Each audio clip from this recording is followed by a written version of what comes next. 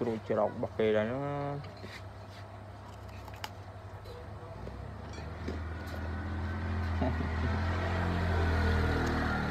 បើបើគាត់ទៅផ្លក់ហូបហ្នឹង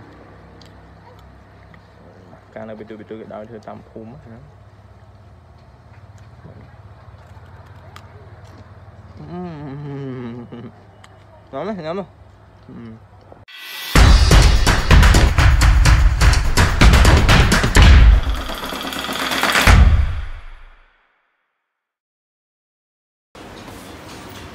អឺអូខេសួស្តីអ្នកទាំងអស់គ្នាតើឥឡូវគឺយើងមកអឺមើលពីទូរស័ព្ទដៃអឺ Vivo S1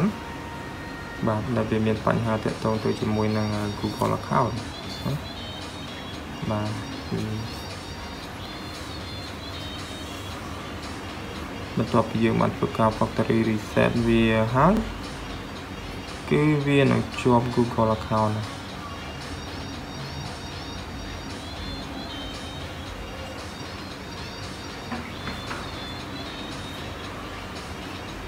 អូខេយើងចាំងផ្លាស់បន្តិចហើយគឺដោយសារតែ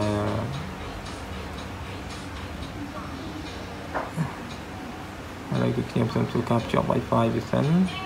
Wi-Fi password ត្រូវចឹង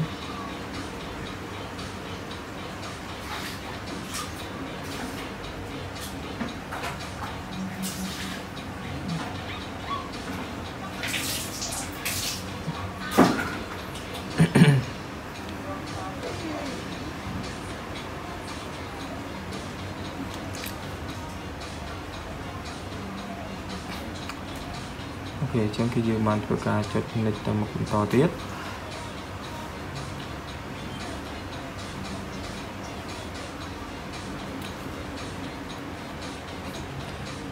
អញ្ចឹងយើងឃើញថាទូរស័ព្ទដៃនេះគឺវាជាប់ទៅជាមួយនឹងអឺ copy ហើយ Google account ណាចឹងមិនបាច់ចាំវាទេវាដឹងអាយុហើយអញ្ចឹងគឺយើងថយមកក្រោយវិញដើម្បីធ្វើការតោះវាគឺយើងអឺចុចទៅលើ skip ណា skip នេះមកបាទបន្ទាប់មកគឺយើងចុចទៅលើ next next បាទ save ទៀត next ទៀតបាទនេះយើងចុច skip មកទៀតមកអូខេហើយចុច next ទៀតបាទនេះមកដល់ត្រង់កន្លែង import data នេះណាយើងយើងកុំអាចចុច skip ទៅមក អញ្ចឹងគឺយើងត្រូវមានទូរស័ព្ទដៃមួយទៀត Vivo មួយទៀតមកបាទយើងត្រូវមានទូរស័ព្ទដៃ Vivo មួយទៀតណាអូខេហើយបន្ទាប់មកគឺយើងត្រូវធ្វើការ download ណានេះបាទ download កម្មវិធីអឺ Quick Shortcut Maker នេះណាបាទត្រូវ download យកកម្មវិធី Quick Shortcut Maker ហ្នឹងទៅ តម្លើងចូលទៅក្នុងទូរស័ព្ទដៃនឹងឲ្យរួចរាល់សិនមកបន្ទាប់មកគឺយើងអូសរមើលកម្មវិធីរបស់វាដែលមានឈ្មោះថា Easy Share ណានេះ Easy Share នេះអូខេអញ្ចឹងគឺយើងធ្វើការបើកកម្មវិធី Easy Share ហ្នឹងមក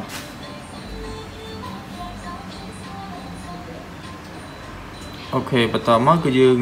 យ៉ា Easy Share បន្តមកគឺយើងយកពាក្យថា phone clone phone clone ហើយគឺត្រង់កន្លែងនេះគឺយើងចុចយកពាក្យថា old phone ណា old phone បន្ទាប់មកវានឹងចេញ QR code ឲ្យយើងនេះបាទបន្ទាប់មកគឺយើងយកទូរស័ព្ទដៃមួយនេះ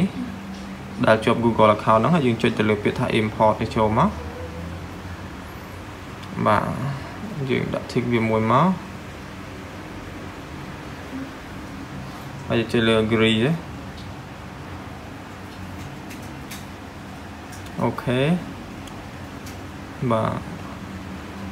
យើងចុចអឺ allow using ហ្នឹងទៅបាទបន្ទាប់មកគឺវានឹងចេញឲ្យយើង scan កាមេរ៉ាអញ្ចឹងគឺយើង scan យក QR code វាហ្នឹងទៅOK ណាបាទបន្ទាប់ពីវា scan បានហើយវានឹងធ្វើការ compare គ្នា មានន័យថា connect គ្នាណា connect ពីទូរស័ព្ទមួយទៅទូរស័ព្ទមួយណា OK វាចាប់ផ្ដើម connect ហើយ បាទអញ្ចឹងអានេះគឺវាចាប់ផ្ដើម load មក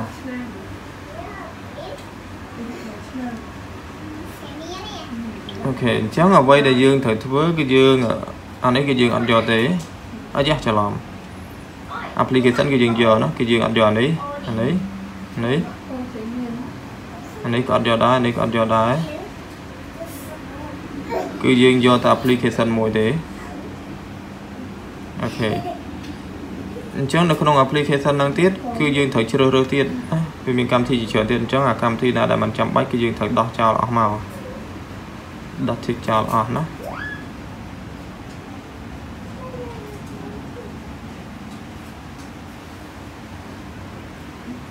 អញ្ចឹងអ្វីដែលខ្ញុំត្រូវយកគឺខ្ញុំយកតែកម្មវិធីនេះ Quick Shortcut Maker នេះណាអញ្ចឹងខ្ញុំដាក់យកយក2ចុះ ដាក់យក2កម្មវិធីនេះទៅណាតែនេះទៅគាត់ដាក់យកចោលទេតាមពិតអ្វីដែលយើងត្រូវការគឺយកអាមួយនេះណាហើយអូខេបាទបន្តមកគឺយើងចុចទៅលើពាក្យថា start phone clone confirm to override មក flip បាទ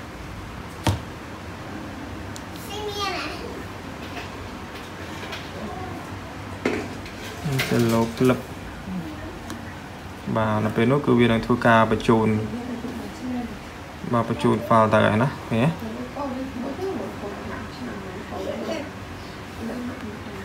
បាទហើយឡើយអាខាងនេះវាវាបញ្ជូនទៅហើយអាខាងនេះទទួលណាអូខេអញ្ចឹងពេលដែលវាទទួលហើយគឺយើងចុចទៅលើសញ្ញានេះណាអូខេណាបន្តមកយើងចូលទៅខាងក្នុង app យើងនេះមកនេះអញ្ចឹងយើងឃើញអា shortcut maker ហើយអញ្ចឹងយើង open វាទៅ អូខេបាទអញ្ចឹងអានេះវារួចរាល់ហើយយើងដកវាចោលដកវាចេញបាទបន្តមកទៀតគឺយើងចូលទៅកន្លែងនេះ input keyword នេះបាទនៅកន្លែង input keyword ហ្នឹងណាហើយយើងវាយពាក្យថា factory S O C អឺ ស្អីនេះ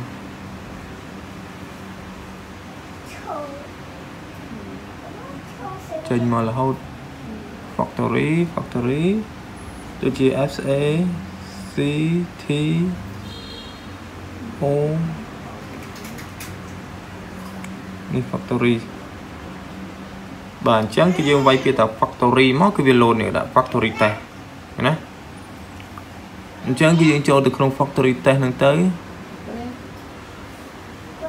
ហើយយើងយក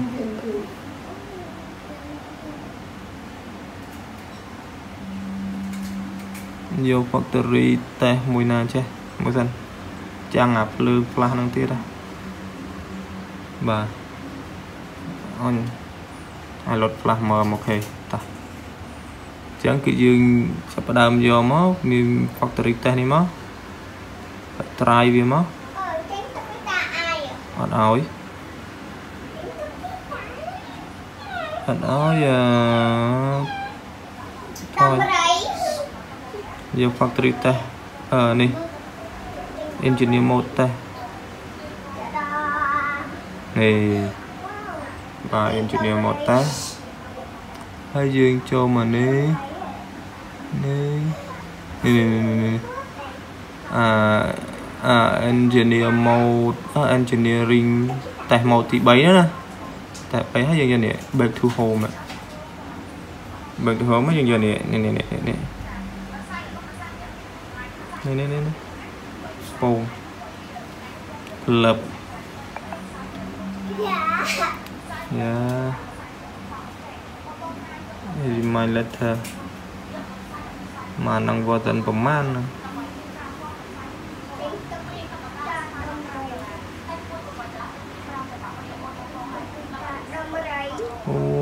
version 12អញ្ចឹងបានពិបាកមែន